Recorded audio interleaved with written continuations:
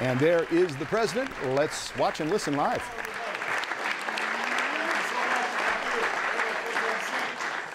Well, I am happy to welcome the Stanley Cup champion Boston Bruins to the White House.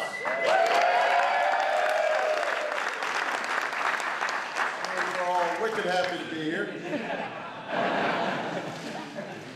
I know there's some members of Congress, uh, members of my cabinet who are joining us today, uh, who are also pretty excited to, to see you. Uh, I understand we got Mayor Menino here. Where is he? There he is right in front of me. Great to see you. Uh, the Bruins, the Sox, uh, the Celtics, now the Patriots.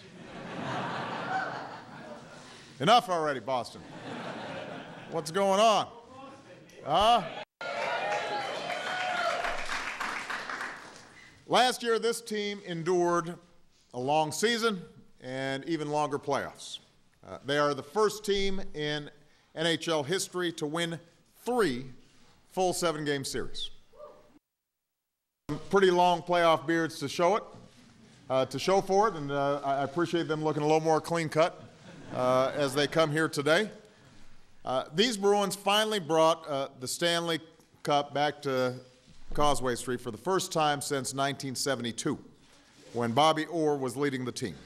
Uh, and obviously, that was before most of the guys on this stage were born. Uh, now, uh, Bobby Orr is obviously a hockey legend. Uh, he took uh, the ice without a helmet, uh, and kids don't try that at home. He attacked every puck, and he lived by the motto forget about style, worry about results. Well, that's what this year's offense delivered big time results. Brad Marchand went into the season playing on the fourth line, uh, but the little ball of hate shrugged off the rookie jitters. and uh,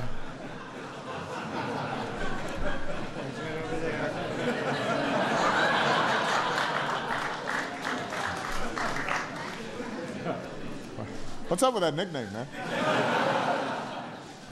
Scored five goals in the last five games of the final series. Uh, after two series winning goals to lead the Bruins to the championships, uh, Nathan Horton went down hard in game three of the finals, but that didn't stop him from doing everything he could to help his team win.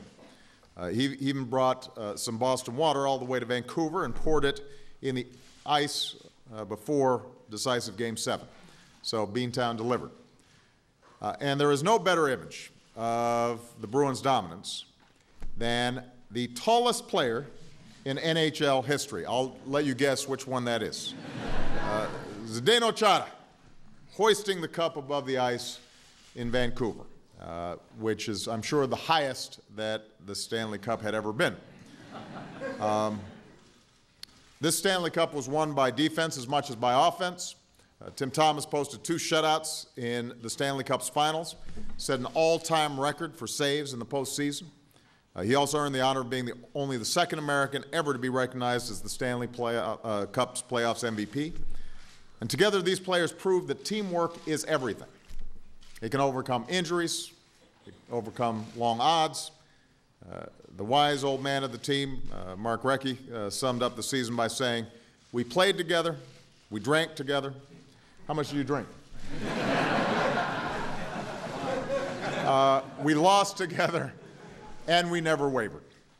Uh, I know that loyalty is important in Boston, which is why the Boston Bruins Foundation has raised and donated more than $7 million in charitable uh, contributions uh, for organizations all across New England.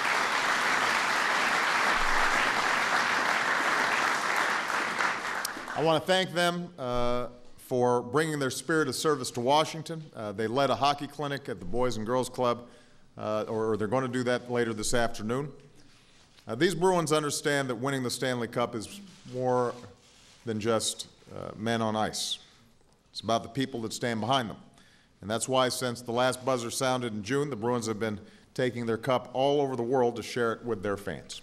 Uh, Zdeno invited his mailman to check it out, wheeled it around town in a, a baby carriage. Uh, Coach Julien's uh, daughter ate her morning Cheerios out of it. That's pretty cool. Uh, the, uh, the, cup has traveled from the back of a duck boat in the streets of Boston uh, to the greens of Pebble Beach, and from a sauna in Finland to a, uh, to a Slovakian castle. Dennis Seidenberg even brought it to his son's christening.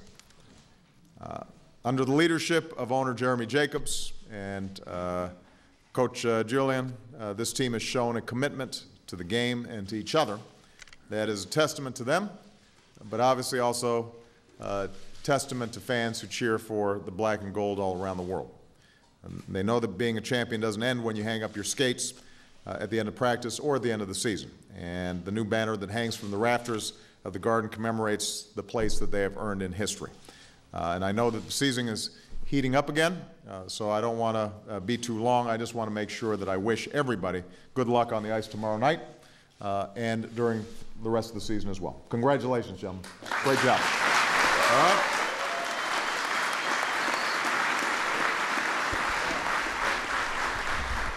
Ladies and gentlemen, please remain in your seats until the photograph has been taken. Thank you.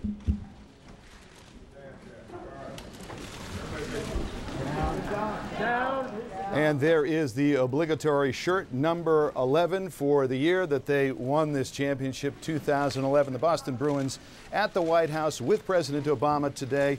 And he mentioned and uh, had some good words to say about the Boston Bruins Foundation. $7 million donated locally. The Bruins this afternoon are going to go to the Boys and Girls Club in Washington and play some uh, street hockey with the kids there and obviously relishing and enjoying this uh, very memorable moment in their careers and just a great thing as he goes around and shakes the hands of the owners, the players, the owner's son, and um, just uh, enjoying this moment in the sun.